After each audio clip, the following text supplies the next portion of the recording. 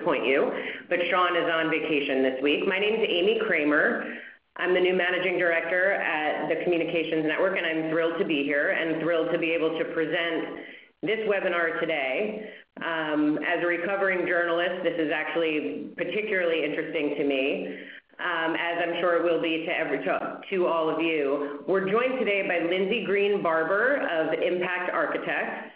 They work with media and communications practitioners and funders across the country and around the world to design high impact communication strategies and to build frameworks to assess the effectiveness of those strategies.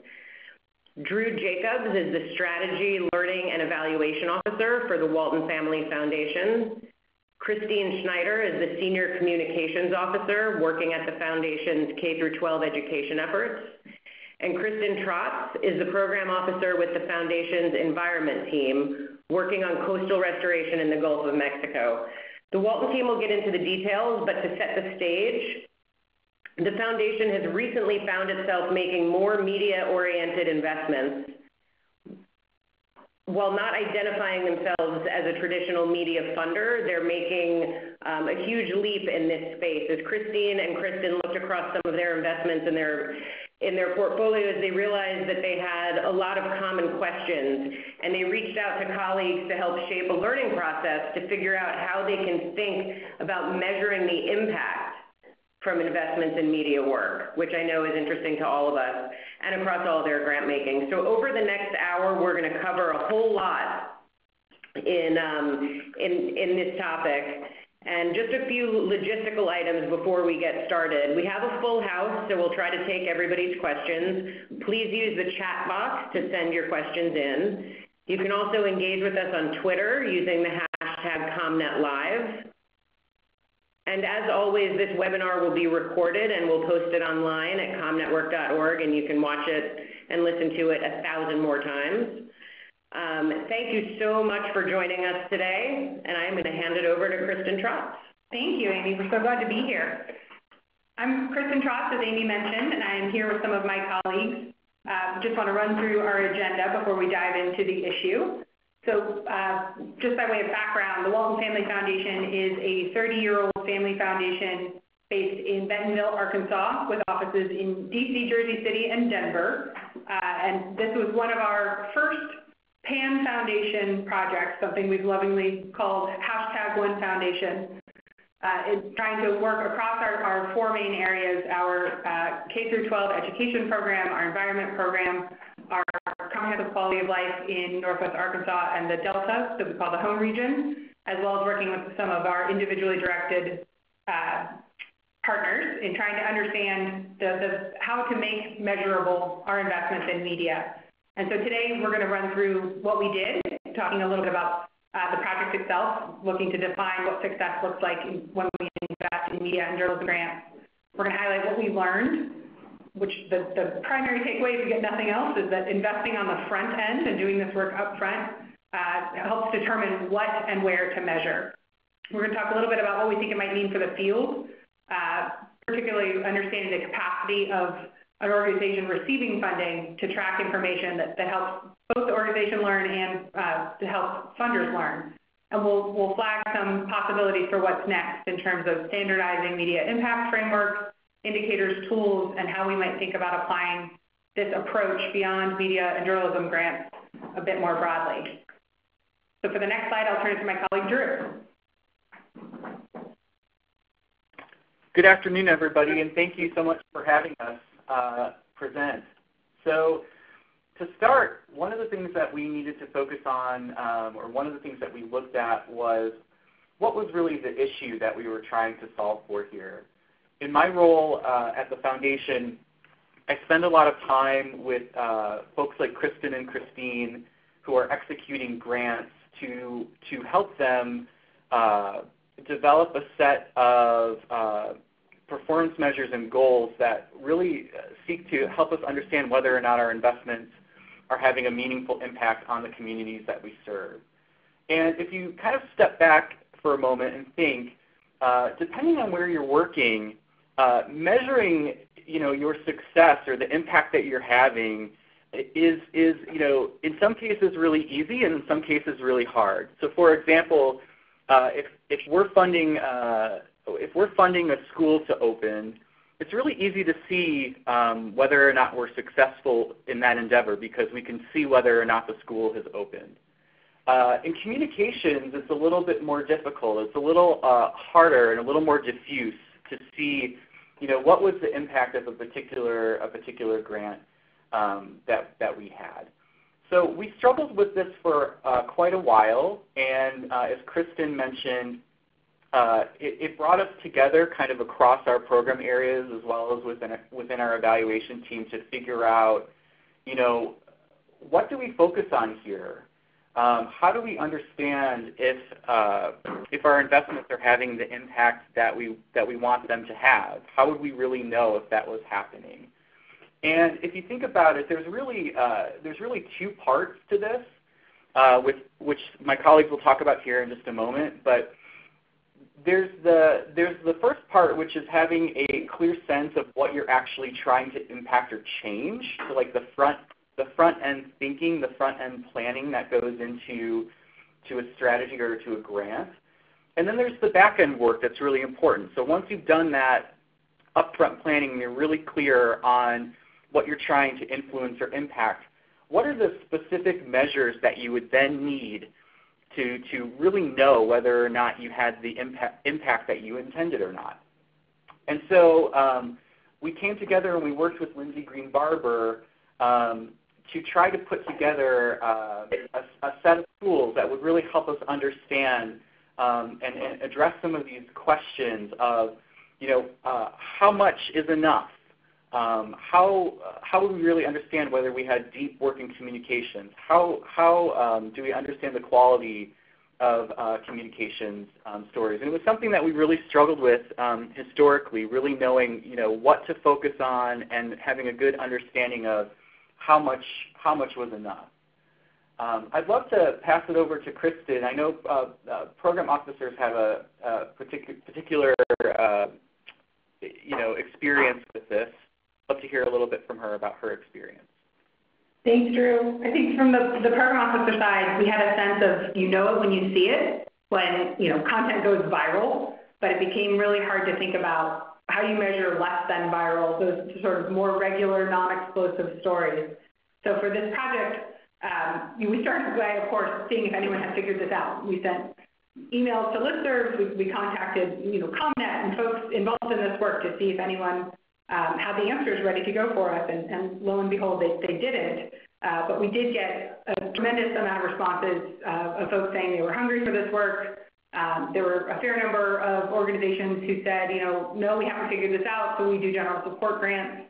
You know, for, for our purposes, because we're not traditionally a, a media funder and because we're working through these programmatic lenses, that didn't work for us. Uh, so we decided to, to take on this work. Uh, and we, we did issue an RFP. We reviewed existing literature. As, as Drew mentioned, that brought us to working with Lindsay Green Barber, who is fantastic. I cannot endorse her enough. Um, and then we looked at what we've done to date. We looked at our existing uh, investments across our K-12 environment and home region uh, work, and we, we decided that focusing on uh, journalism and media-specific investments was a good starting point, uh, as opposed to looking across all of our broader advocacy and communications efforts. But to, to get started and to try to scope this in a way we could uh, relate to, we started with the journalism grant. And so on the next slide, we'll share our findings uh, straight from the source. Lindsay. Great, thanks, Kristen. Um, so I just have to say it's been fabulous working with the Walton Family Foundation and with the team across the programmatic areas and in the strategic learning and evaluation department. Um, and the goal for this work, we really worked to develop a framework that could guide program officers across the foundation's programmatic areas to articulate what their, their potential investments would seek to do for their portfolio work um, and then, as Kristen said, specifically how to engage in conversations around this work with journalism organizations, which are different than advocacy organizations. So, it was, you know, strategic decision to, to focus on journalism. And Kristen and Christine can talk a little bit more about those types of conversations later on. Um, and then once we've defined what those different goals are, the types of impact that different program officers might be seeking to have, we turn that into a decision tree that would help a program officer look for ways to measure and inform their learning along the way and what types of questions to ask of the grantees or of the journalism organizations as they're identifying those uh, evaluation frameworks together. And so I think one of the big and, takeaways, oh, Lindsay, sorry. No, no, go ahead. Are you still going? Nope, done. So one of our big takeaways um, was really that this is upfront work. And so as, as Lindsay shared, understanding where you're going, and this is a, a screenshot from the, the framework that we developed to help you identify the type of audience you're looking for and doing that work up front uh, and investing on the front end, co- doing that co-creation with your grantee really helps determine what and where to measure. And when you do this in partnership with your grantee, so unfortunately it's not a matter of just handing over a toolkit and having them uh, define it for themselves, but working collaboratively helps you figure out what capacity they have to report uh, on the types of information that you're looking for and making sure that what you're, what you're tracking is meaningful and that they are able to not only uh, track but to analyze the, the things that you have together decide that matter. So Christine, you want to take us through the takeaways? Yep. So there were a lot of takeaways. We thought that these were the ones that um, would be. Hold on, let me I'll go off my headset. So we thought that these were the ones that would be um, the most relevant to the group here. I think that as we kind of navigated this project and did an inventory of how we were defining terms and the metrics with our grantees, I think it was a really aha moment to see that we were defining and measuring things very differently across a, you know from grantee to grantee and from grant to grant. So Lindsay was really helpful with us in helping us identify um, both a glossary of um, terms, but then also resources and tools to measure impact that were easy and not expensive or burdensome for grantees. And so that way we are able to um, use them now not only across this team but across our entire foundation. Um, we also spent some time developing outcome indicators that measure what and how much and also sharing those. So, you know, now within the foundation, um, there's standard language and resources and, and terms that are used to, to talk about outcomes and the most important outcomes through a grant. Um, number three, I think, is a little bit about exercises of empathy. So we wanted to really make sure that we were not recommending things to our grantee community and measurement without fully understanding the time and cost it would take.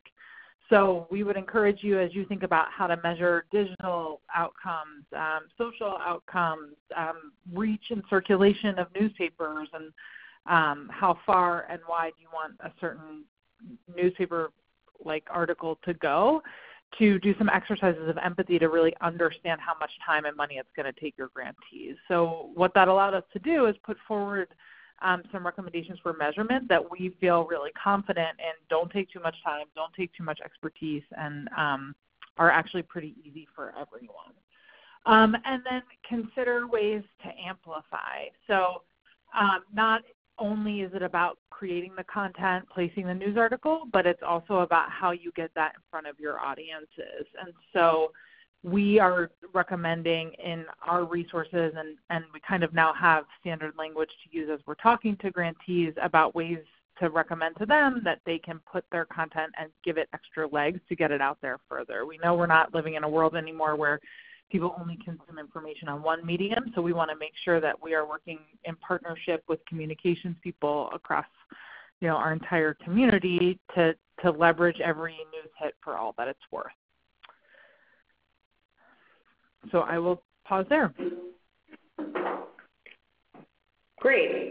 I want to start with a question um, that's sort of on the communication side, I guess, which is talking about this work. And I think, you know, one thing that comes up is why are charitable dollars being used to support a for-profit media company? just in like the barest terms, how, how is that a good spend in this day and age?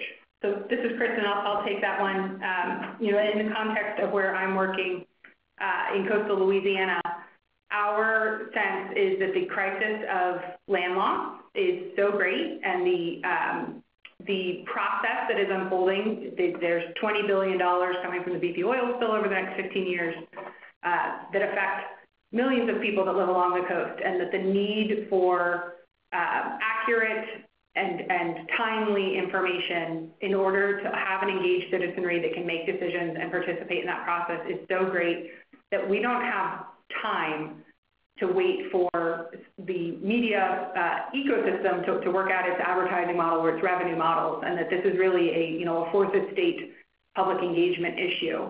And so um, we made an investment that I'll talk about in a little bit more detail uh, in a few minutes, but we made an investment in the Society of Environmental Journalists to work with the Times-Picayune to provide reporting capacity uh, to what, had been a, wonderfully robust regional newspaper that has been eviscerated over the years, uh, to provide that capacity to be able to report on whether it was you know hurricane season or floods or the ongoing, the slow moving disaster of coastal land loss, uh, and that that information and access to what's happening, where the dollars are going, these, political decisions that were being made, uh, is a contribution to the public good.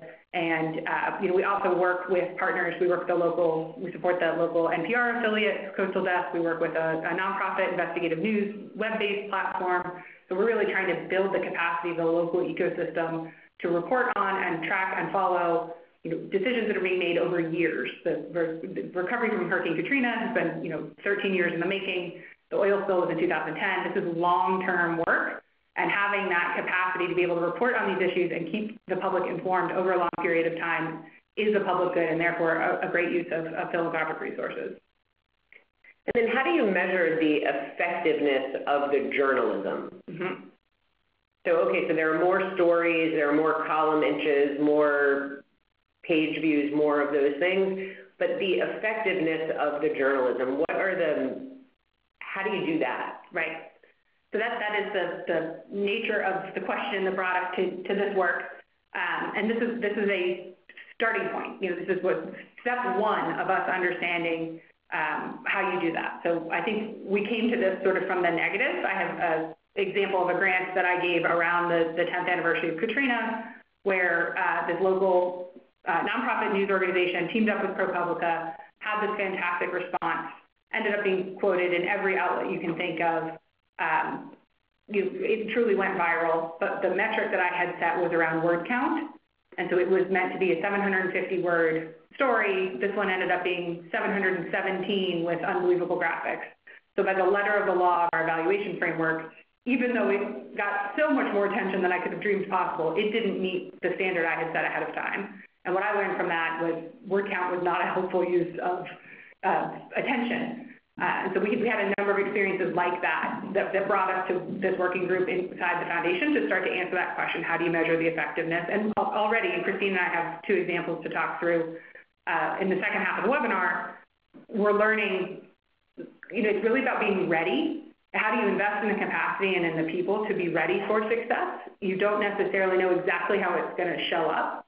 Um, so I'll talk a little bit about a, a partnership that happened with the New York Times that exceeded what I thought possible under a grant. But by setting up the systems and by understanding the information that you're looking for that, that give you that uh, mid-course correction ability, are, are you reaching the right audiences?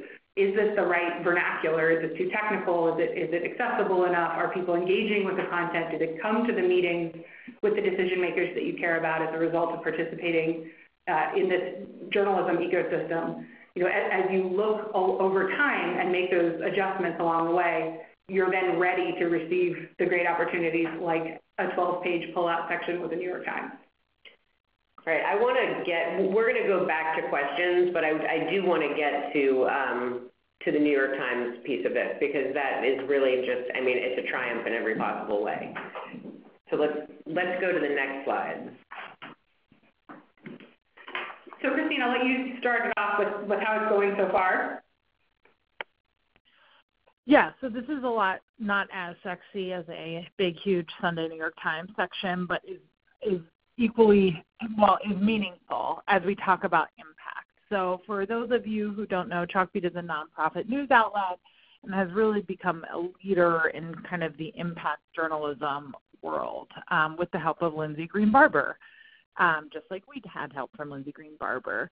Um, and so as we think about impact with Chalkbeat, um, what they have been able to do is create an impact tracker that measures how its journalism is leading to things like law changes and um, public citations by elected officials and or influencers in their community.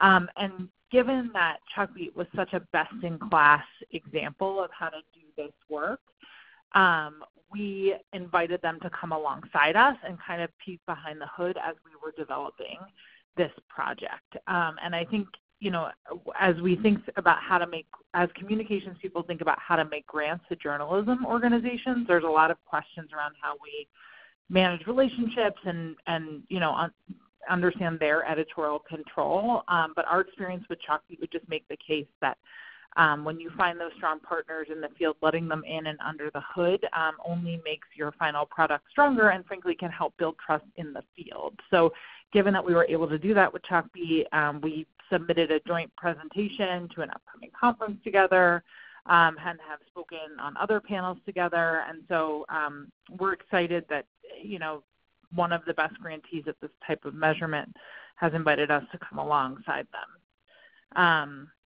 Kristen, onto the New York Times.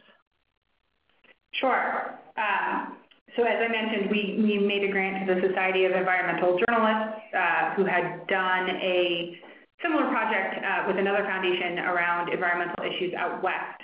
Um, and so they had learned a little bit from that process. And um, the, the board chair of SEJ at the time was uh, an environmental reporter at the time, speaking in Mark Schleifstein, um, who had has been in this space for a number of years. And so he, he knew us and our agenda, and we knew him and his approach and, and his you know, integrity. Um, and so recognizing that there, was, there were not enough marks to go around, given how much activity was happening, uh, we worked together to, to set up a, an approach that gave him two uh, younger journalists that he could mentor and, and sort of early stage, bring them on, have them understand the issue, flesh out the coastal desk capacity, and, and serve as a sort of uh, mentorship with Mark Schleifstein, who is at, towards the end of his career. Um, and really one of our, our goals was getting the story of what's happening uh, in coastal Louisiana to a broader audience more regularly. Um, and what we were able to do, because this is a collaborative process with the grantees, you know, th- throughout the development of the proposal, we, we were able to have a broader conversation about what it means to get to a broader audience, how we would know, you know, what does it matter? Is it just more eyes on the paper, or you know, where is the line between um, what people understanding more, and, and you know, how do you measure them taking action when in fact journalism isn't necessarily teed up to do a certain number of policy changes or that sort of thing. Um, so we were able to talk through what we thought would be helpful benchmarks along the way, what progress would look like along the way. And in, large part because of the caliber of the leadership of the Times-Picayune, uh, and because it is Louisiana and all things are related, and Dean Baquet's brother is, on staff at the Times-Picayune, um, they were able to develop a partnership that came, you know, from Dean Baquet uh, acknowledging the role that national outlets need to play in supporting the expertise of local journalism and they were able to develop this partnership that, that culminated in a 12-page special section that ran concurrently in both papers about a month ago. Um, additionally, you know, they are developing real-time live stream content that augments their written reporting, so this behind the news aspect, and we've been able to track engagement across multiple platforms. So they've done Facebook Live, they've done uh, Ask Me Anything on Twitter, they've done uh, in-person panels, uh, and we're able to get a sense of you know, what what, conti- what works to continue the conversation in addition to the, you know, obviously thrilling splash of, the paper itself and the, pictures above the fold on A1. Um, you know, what does it mean to engage over time and not just not just the, one and done uh, special issue, but but how do you how do you understand engagement and how do you ratchet it up over time? Um, so this has been a, helpful starting point for us both understanding the information we have as well as identifying what we will need to know future in terms of what does sustained engagement look like and how do you know if people take action as a result of that? Right. That's actually in in the questions that we're getting. That's um, that's a theme that keeps coming up. So grants are obviously a finite period of time. Three years. Whatever it is. How do you do you add time onto that to allow the impact to be revealed? Right. Is there you know how long is the tail on this work? And, you know, I will, I will definitely have Drew, our evaluation expert, uh, speak more to that. But from my standpoint, you know, we have, we do grant level metrics, we do initiative level metrics, we do strategy level metrics. And so it's about finding what you're testing for over time. Uh, in my case, I have a particular um, effort to, to understand what needs to move the needle on conversation around coastal restoration during our five-year strategy. And so I'm not necessarily holding individual grants responsible for that outcome because that, that's outsized for the scale and timeline of the grant, as you were saying, Amy. But understanding how the portfolio of investments works together and how you can measure, you know, change in attitudes and, and, and as the, the toolkit that, that we're going to share shows, you know, there's various survey mechanisms you can use, there's various media analytics you can look at, you know, all of these are pieces of the puzzle. There is no silver bullet, one thing that you do to measure all of these things and answer all of these questions. But it helps you look across your portfolio of investments, understand what you're measuring at the grant level, what you're measuring at the strategy level. Do you have the right players? Do you have the right voices? Are you, are you making progress towards the change that you're seeking? So the, the work that we did here helps, and, and this will be uh, available, we'll share it out it helps you walk through those questions that you ask on the front end, which is what I mean by this is upfront work. Knowing that a, a journalism fund, grant to a journalism oriented at, you know, local, you know, in this case, New Orleans residents, you know, that's going to give me a, a smaller scope of outlets or of uh, people that could participate in the survey if that was the method I was using to understand, you know, the change in awareness or change in attitude. Or change in behavior. Or change I mean, how do you, exactly. how do you tie this back to behavior change? Right. And is that, I mean, the ultimate impact is behavior change. Right, which of course we have to stay within the 501c3 requirements of, you know, we're not going to, Right. you know, task a grantee with changing, you know, achieving a certain percentage in an election. That, that would not fly. So, you know, what are those proxies that you can look to that, that help in, inform this changing, you know, landscape or, or information without you know, crossing all the way over into getting into electoral politics. Um, but you know, what what other tools are out there to to measure that change over time and helping think through the, the timeline to your question of, of these grants. These grants for us have started to become longer, in part because there's a lot of setup time. And so the, the grant to Society for Environmental Journalists, which supports the Times-Picayune, is a three-year grant, which is longer than most of my other grants in my portfolio, in part because we spent a year setting up baselines and understanding, you know, where are things currently and what, how many Facebook fans do you have currently and how many readers interact, you know, how many subscribers interact with your content online at a given time period. Um, so there is a lot of upfront work to setting this up, but as a result, we're able to, you know, understand that, you know, Facebook Live is a great platform for this conversation and to spend more resources investing in that kind of programming as opposed to something else that might not work as well.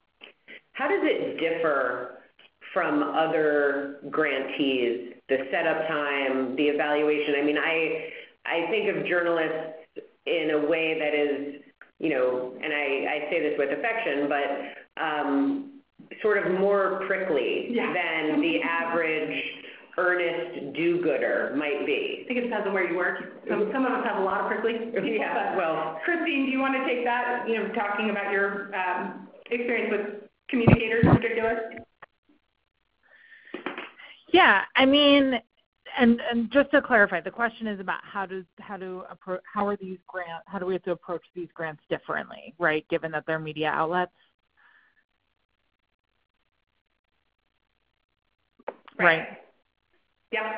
Um, sorry, I thought I hung up. Um, the answer is is pretty differently, right? There are clear boundaries of editorial control, and if you are making grants to news organizations to try to influence their reporting. Honestly, pay for sponsored content because it's a much easier way to do that. So I think you really have to change the foundation on which you approach grant making, given that you have to recognize that grants are not about influencing coverage, they are about educating the public and increasing awareness of issues, even if at times those issues are not covered in the way that is frankly as a communications person i would pitch them or um, hope that working with a reporter would kind of lead to. Um, and you know building relationships with people like um, elizabeth green at chalk who's their executive editor or um, sean Kavanaugh at Education Week, who is their sponsorship manner, manager, is just different from building relationships with reporters, and it doesn't supplement me having to take reporters up, you know, meet reporters for coffee and build relationships separately.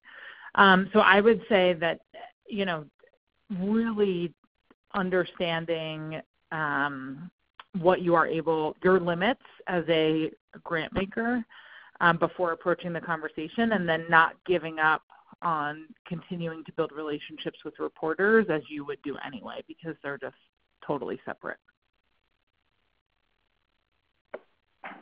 Awesome. So we have, we have two more slides. I know there are lots of questions, uh, but we'll run through these quickly and then um, turn it back over to have a, a lively discussion, I'm sure. Um, so in terms of what's next, obviously this is a starting point. You know, for those of you looking for the Rosetta Stone on how to track all things uh, journalism and media, I'm sorry, this isn't it, but it is a, a starting point that we look forward to sharing. Uh, we'll, we'll have a public-facing document um, that we'll share through the ComNet newsletter uh, in the coming days. But specifically you know, where we felt we left off at the end of this project is that there's room for more learning. So this is a, a very dynamic media landscape, you know, in the social realm, as Christine talked about earlier, you know, algorithms are changing all the time, how you think about, um, you know, what, what is accessible and, and what make, what definitions make sense. This is, this is not a static situation. It's certainly something we'll have to continue to, to track and evaluate going forward. But in terms of the, field more broadly, um, one of the, the pieces of feedback we got from a grantee was that um, they had a couple of funders who were interested in media impact, but all used different approaches. And so one thought for the funders among us is, you know, are, are there possibilities to, to standardize our framework? Could we use similar definitions or similar tools? Are there indicators that that could serve to, form a common language and, work for multiple funders so that we're um, investing in the capacity of an organization to track, but also uh, not asking them to track everything under the sun. In that same vein, you know, I talked about the, six months to a year we spent setting up uh, baseline data. There may be opportunities to share some of that load and to, share baseline data collection across uh, different interest groups or, or sectors to think about identifying goals. Um, understanding where you are is one of the most important things to then setting a, target, particularly if you're looking for quantifiable uh, improvements or quantifiable outcomes. You need to know where you are so you can understand what, what percent change you're looking for and is, that meaningful. Um, and I know Lindsay's going to talk about that a little bit uh, in a moment. Um, I can't underscore this enough, the importance of collaboration with good people and that trust of, um, as Christine said, you know, this is, this is different from lots of other kinds of grant making where you, you have a very almost widgetized, you know, I am looking for this many policy papers or this many signatures or this many people attend an event. Um, it, this is not that kind of grant making. And so having those relationships and being two-way streets um, and being able to collaborate with good people and being ready for a, a success and trusting that they have the resources to take advantage uh, when opportunity comes knocking uh, or to let you know if they need more. Um, but that the collaboration with good people is really critical. And I think we we wrapped this project internally feeling like um, we needed to road test it and really apply it to more of our grants before we could come back and, and take a second crack. But we also felt that there was a lot here that we, for logistical reasons, had kept focused on the uh, media and journalism space that we might think about uh, expanding more broadly for you know advocacy or policy communication. So you know, do our grantees understand how effective their newsletters are and their um, push materials that they're sending out to their various stakeholder groups? are there ways to think about um, coming up with similar language and, and sort of impact frameworks that might be applied outside journalism and to other uh, sectors like, like advocacy and policy. So Christine, I'm going to turn it to you to, to take us up, uh, through the summary wrap up, and then we're going to dive into more questions. Yep. Um, so Thank you for that, Kristen. Um, a lot of this I think has been covered already, so I'll just go quickly. Um, do the work up front. Drew talked about that. Um, this framework allows us to ask some questions early on that have really clarified process and led to a quicker um, and more effective grant, you know, new grant and or grant renewal process. Um, understand the grantee's capacity to track, analyze, and report on information specifically related to time and cost. Um, we talked about that a little bit. Uh, the dynamic media landscape means things aren't standing still and you may need to adjust. So for example, even in the um, you know toolkit that we have created, it's only a couple months old now. Things with Facebook have obviously evolved and measurement tools are constantly changing. And so we recognize that um, we have to be flexible where appropriate and do our best to standardize definitions um, with our grantees on the front end to make sure that we're setting each other up for success. Partnership with other funders is something we're really looking forward to.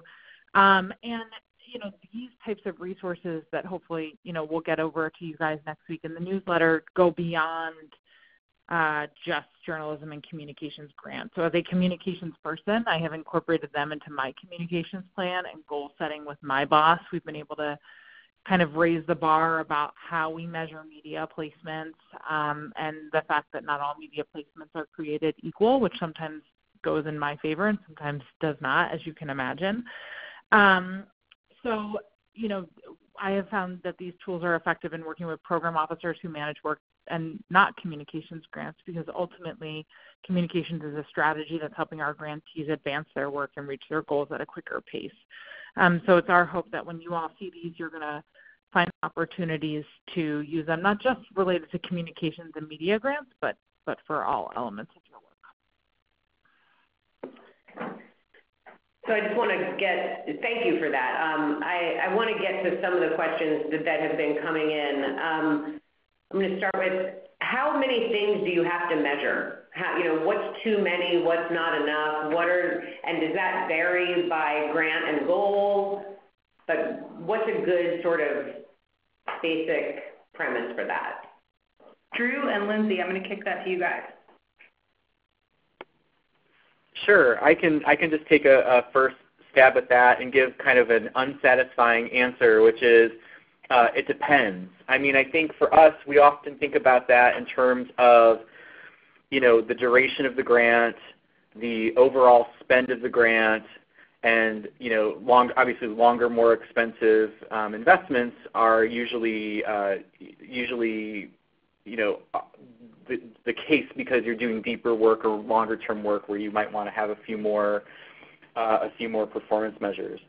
I think that one of the things that we learned through this process and, and the toolkit that uh, was developed helps us with this is it's really you know it, it's better to it's better to begin the process thinking about who you're trying to reach and what you're trying to accomplish rather than trying to hit like we need eight measures here or we need six measures or we need 12 measures. It's really more about upfront kind of working through a process where you're doing the planning and thinking um, first and then thinking about okay given given you know what we're trying to do what we're trying to accomplish who we're trying to uh, influence here what's what's the appropriate measurement um, strategy that kind of sits beside that?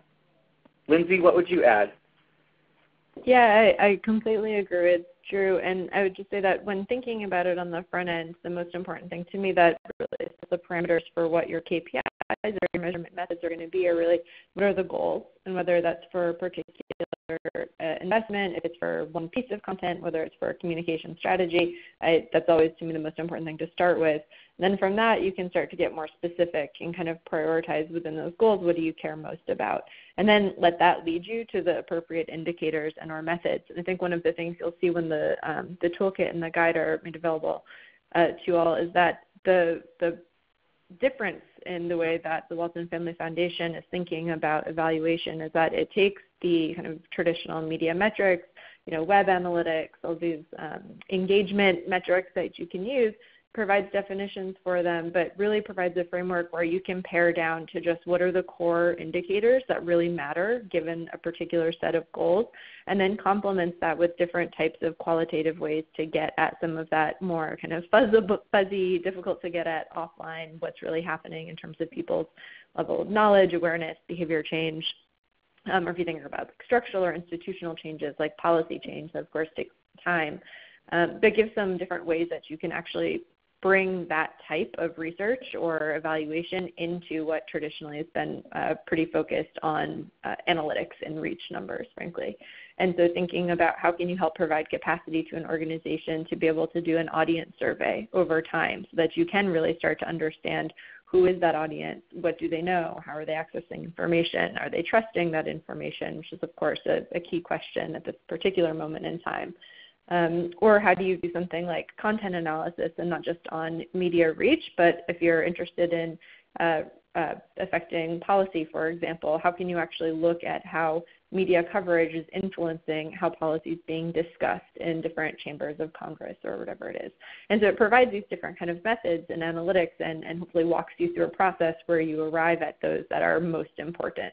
Um, so I agree with Drew, it's not that there's a particular number, you know, eight or something, um, but you're going to end up with a handful of indicators that you can gather in the short term that are pretty accessible to an organization and shouldn't be particularly onerous to gather, um, and then potentially have some other more kind of advanced or more resource intensive methods for getting at the tougher questions that again if it's a big enough priority you can do and maybe you don't have to do every time but if you do it with a handful of organizations over time you can start to feel more confident in that strategy or, or have better advice even to share with others how they might be tweaking their strategies to achieve their goals.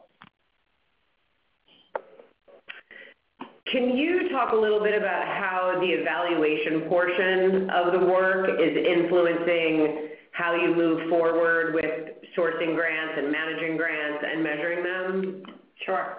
So Drew, I'll let you give the SLED perspective, and then I'm happy to chime in from the program officer perspective. Yeah, I'll just offer a couple of a couple of quick thoughts. I think it's really important um, for us at the foundation. We're really focused on learning, and we're really we're really trying to think about, um, you know, how can you how can you design, um, as as Lindsay and I were talking about just a second ago, really focused set of measures that will help you understand in a year, two years, three years, um, what have been successes and what have been point, you know, kind of pain points and for us, you know, I think um, uh, Kristen and Christine can probably speak to this a little bit more, but for us, those, the, the measures really do inform the next grant cycle. You know, I, I think program officers are taking a look at a well, you know, if the measures are well designed. You know, if, if, if they're focused on word count, maybe less so. But if, if we really worked this process, we've been thoughtful, and we have a really kind of clean, well thought, thought out set of measures, what we get back from grantees really helps us uh, helps us and them learn together and think about, okay, so in the next grant cycle, like what are the kinds of things we should continue to focus on and go deeper on? What are the things that maybe we, we do less of? Um, are we starting to see some um, early results of our work? You know, are, are, we are we moving towards the kinds of outcomes that we were hoping to see, or, or not? You know, and it, it's an important opportunity to kind of take stock, take stock, learn, and readjust.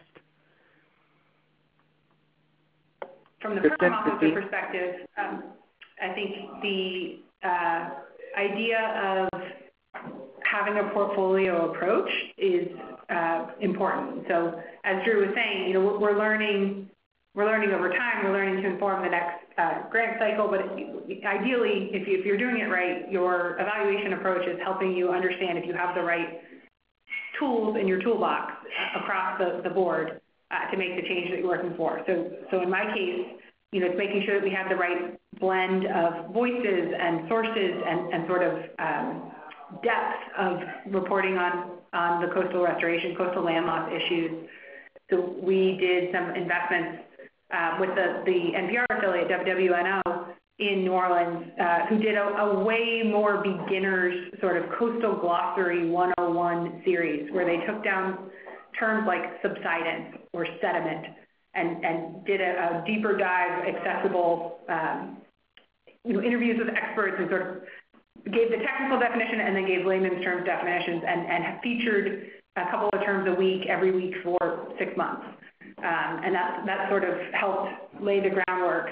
You know, then we saw that there were, was a need for uh, longer form, more investigative pieces about where the money is going, or um, you know, a more technical look at, you know, there was a, long piece on Army Corps permitting issues. And it's, you know, the evaluation metrics, both at the individual grant level and then broader across the portfolio, help you understand if you have the right mix of those investments at the right places so that you're moving the ball forward. Uh, and if, if you have skipped steps or if there's a hole, you know, how to fill it, what kind of voice is needed, what kind of investment is needed to, round that out so that you're continuing forward. Um, you know, I think for the coast restoration work, our journalism grants, and I think Christine would say the same for, for K-12, um, our journalism grants are means to an end. They're up there. That, that's why we constantly qualify that we, don't identify as a traditional media funder um, that we, are in service of our programmatic goals and our strategies. And so they're part of an overall portfolio. And so these, these three journalism grants I've referenced in New Orleans are, you know, three among 50, um, where we're working with, with advocacy groups, we're working with community groups, we're funding science, we're funding uh, other, you know, policy advocacy efforts. Um, but the theory of change is that because we are looking to uh, ensure that the, restoration dollars spent over time, the settlement is 15 years, that that's going to take political will to make sure that it's done right. And to get political will, you need support over a long period of time. And people need to think this issue is important. They need to understand how it's happening, and they need to know how to engage in the process over time. And so journalism is one way that we are looking to, to achieve that sort of sustained engagement in a really technical, complicated, slow-moving disaster issue. And so by making these grants in our larger portfolio, you know, we are hoping that we are keeping that drumbeat of coverage and information, and that there are credible voices helping people get a handle on this pretty complicated, wonky issue over a sustained period of time. So we look for evaluation measures that are helping us test that at the individual grant level, at the portfolio level, and, and understanding the evolution of an issue over time. Um, speaking of just the dollar amount, one question is, can you share the dollar amount of the grant to the Society for Environmental Journalism? So it is not intentionally opaque on our website. We are improving our uh, the way that we code our grants to make this more user-friendly. Uh, but all of our grant information is available on our website in our annual report. And the grant for SEJ, uh, we were about 18 months in, and it was a um, it was about 130,000 a year for three years so just under $400,000 uh, dollar grant for three years. We made that in uh, late 2016. Another question um, is, can you share the language that's used with the grantee's contract and scope of work that includes measurement and, and tracking of influence? I mean, I know that you have, you know, and, we'll be sharing it in the next ComNet newsletter, um, some of the public-facing materials that support all of this. But in terms of the specifics of when you enter into this kind of relationship with a journalism grantee, what does that scope of work look like? So I, will take a stab at a general answer. Um, I think it's not going to be surprising. It, it largely depends. It depends on the, the scope of the investment. It depends on the, the scope of the work, Christine scope, uh, with a lot of K-12 investments are more national in nature. Mine tend to be local because I'm working in a specific place. So, um, you know, obviously we have our standard, you know, grant contracts that, that govern, you know, all of our compliance issues and all that. The metrics portion is part of our application development, um, and it literally answers the questions, who is doing what, by when, how will we know, um, and, and, and how much. So work, that's where we do our collaborative uh, work with the grantees up front before it's even gone to proposal review for our grant committee. We're trying to understand that, that who is doing what and how much question. You know, how many articles, how long are the articles, where you, you pitch articles to, you pitch local articles to a national outlet, which ones, which ones matter.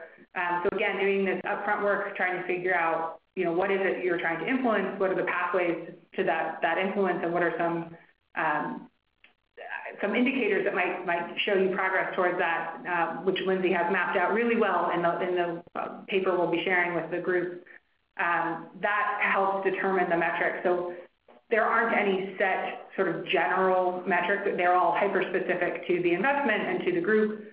Um, Drew, you could share whether we have sort of more more general uh, evaluation resources uh, to this, but we, we don't have anything, um, to my knowledge, that is sort of generic that would speak to this that, we're able to share. Most of it's part of our grant contract, which is not public. Drew, do you know if you have anything else? I'll put in the chat window a link to our, our general strategy learning and evaluation page, which does contain, contain a little bit of what Kristen just talked about in case folks are interested. Great, thank you. Yeah, and, and Lindsay, can you speak to? Oh, I'm sorry. Lindsay, no, can, go ahead.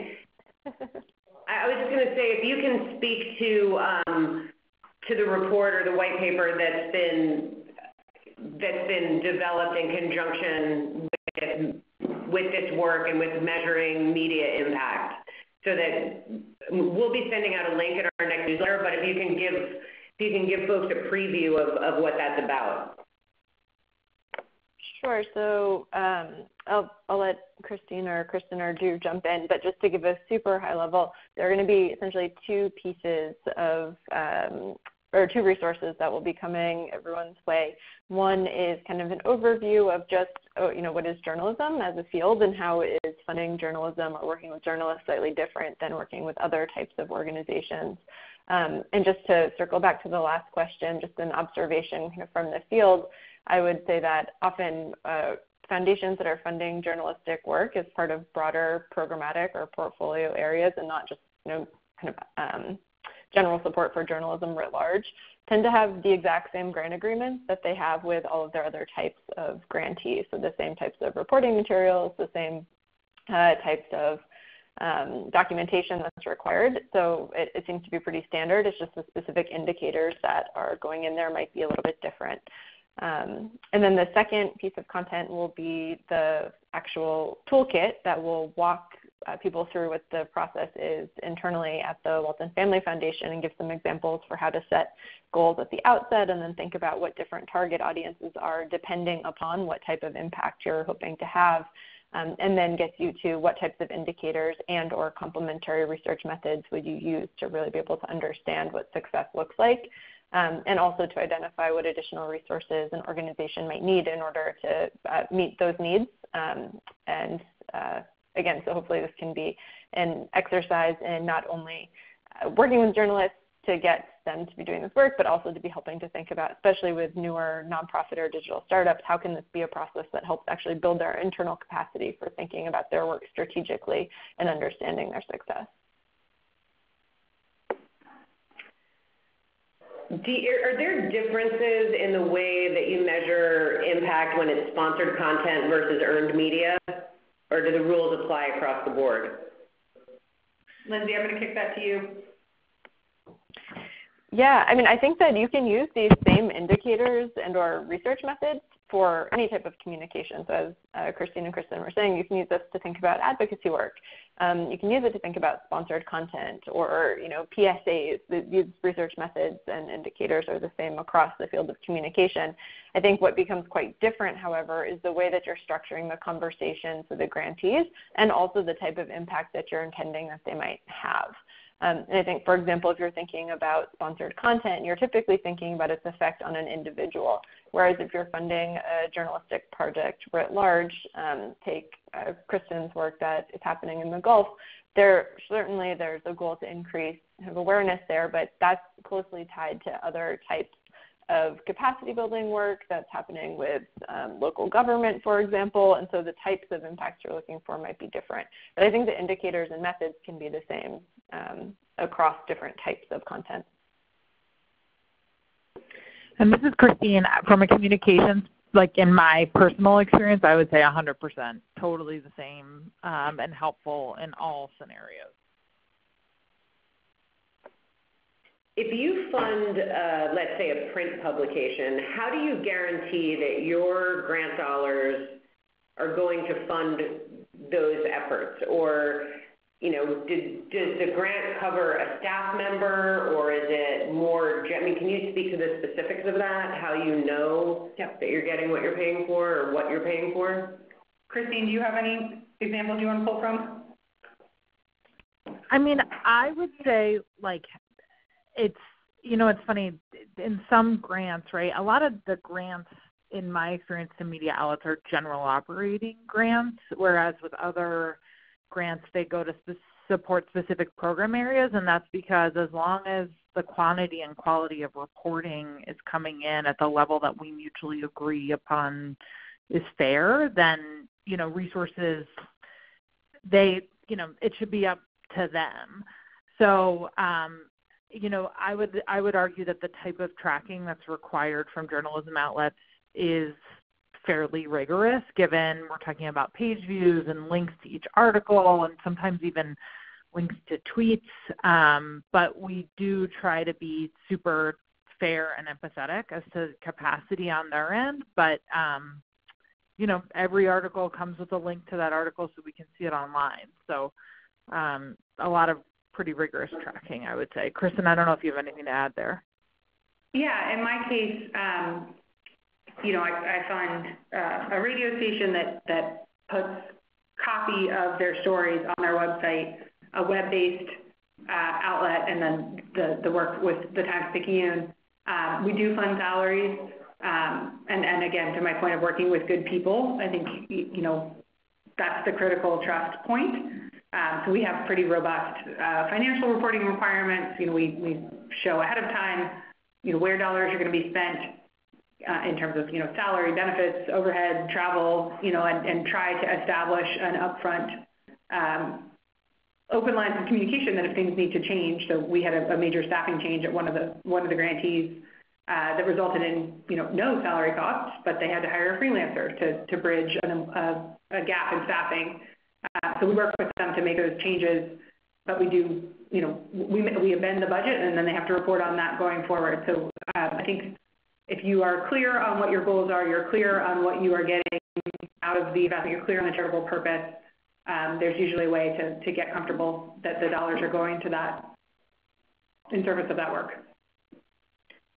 Thank you so much. Um, we're getting to the top of the hour, and unfortunately, there are a bunch of questions we haven't answered.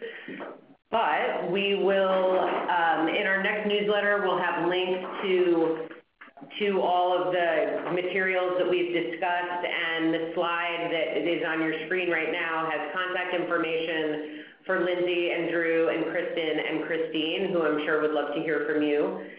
And I just want to say thank you to everybody for, for dialing into this and to our presenters and to my colleague Tristan who makes the magic happen. And with that, thank you very much. And we will see you next time.